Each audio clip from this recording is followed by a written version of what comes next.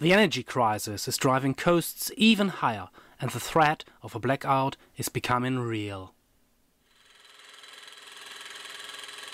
For many years I built micro cogeneration Stirling engines that require only a heat source for electricity generation.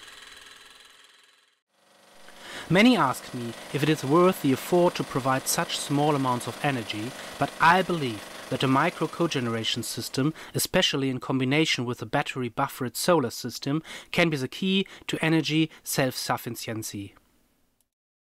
Firewood has become precious.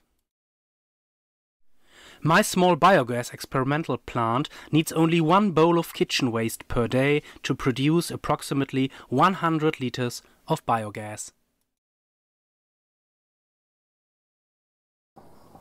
A plant about 10 to 20 times larger would be sufficient to cover the daily demand for heat and electri electricity with a small Stirling generator.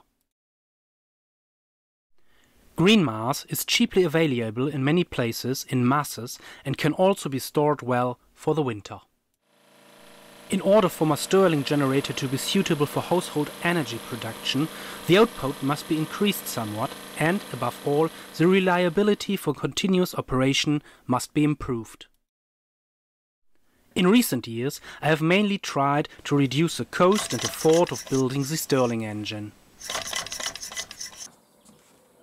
With a sharp rise in energy prices, it would no longer be the cost, but reliable endurance characteristics that would be decisive. Problems were mainly caused by the gears and plain bearings of the rhombic gear drive. My next step will be to replace the gears with timing belts and the sleeve bearings with roller bearings and then do endurance tests.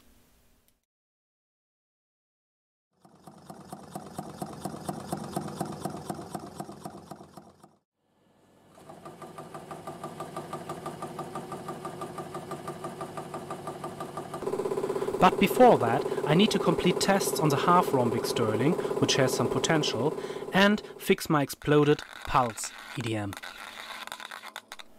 Thanks for watching, and as always, I would be very happy for your commands and suggestions.